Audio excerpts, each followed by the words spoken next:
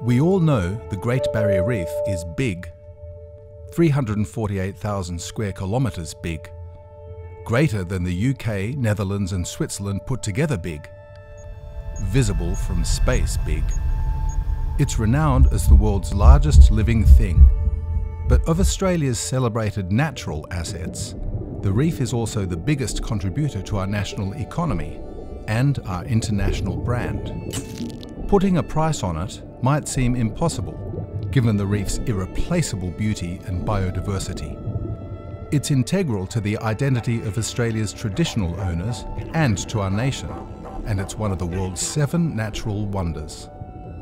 We might say it's invaluable, but identifying its value can help us appreciate its importance and shape thinking and policy around its future.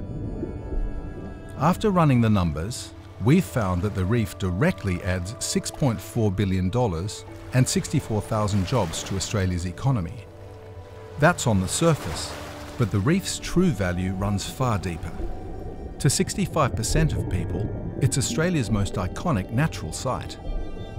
Over half feel that it's vital to the planet, and two-thirds would pay to protect it.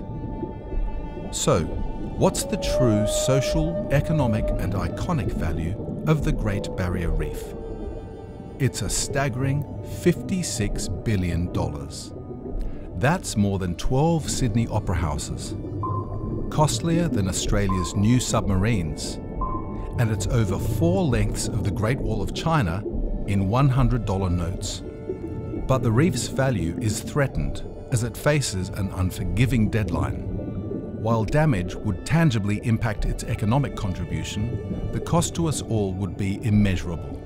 We need to act now to safeguard its future, because protecting the reef is not just an Australian or international priority, it's a human priority.